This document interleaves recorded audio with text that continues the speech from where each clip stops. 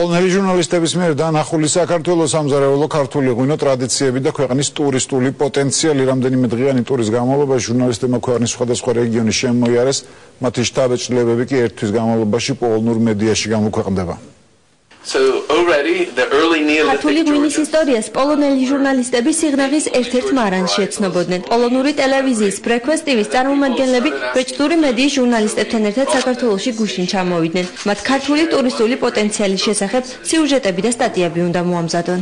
აქ იმისთვის ჩამოვედი, რომ რეპორტაჟი მოამზადო საქართველოს და მისი ტურისტული პოტენციალის შესახებ. სანამ ჩამოვიდოდი, ბევრი ინფორმაცია მოვიძია ამ ქვეყნის გასაცნობად.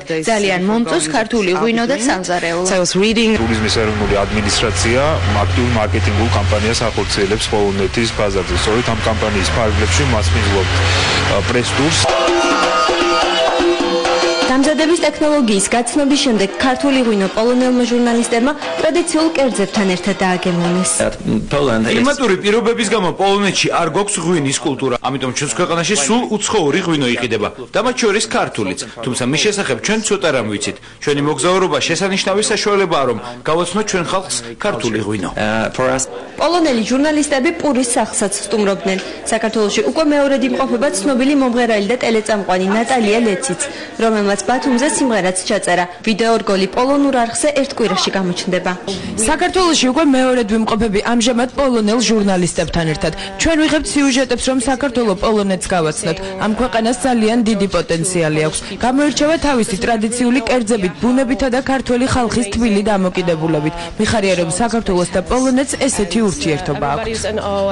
ქართული ღვინისა და სამზარეულოს გარდა ჟურნალისტების ინტერესის თემა ქართული ტრადიციები, კულტურა და სამთო სათხილამურო კურორტი. კურორტებისა. დელეგაციის წევრებმა უკვე დაათვალიერეს თბილისი და მცხეთა და ეკონომიკის მინისტრთან ინტერვიუ ჩაწერეს. განხორციელებთ საკმაოდ კომპლექსურ სარეკლამო კამპანიას პოლონეთის რამდენიმე ქალაქში, იმისთვის რომ გავზარდოთ ტურისტების რაოდენობა საქართველოში, რომელიც რა თქმა უნდა შექმნის მოთხოვნას, უფრო გაზრდის მოთხოვნას ჩვენ სოფლის მეურნეობის პროდუქციაზე, გაზრდის მოთხოვნას ტურიზმის სფეროში.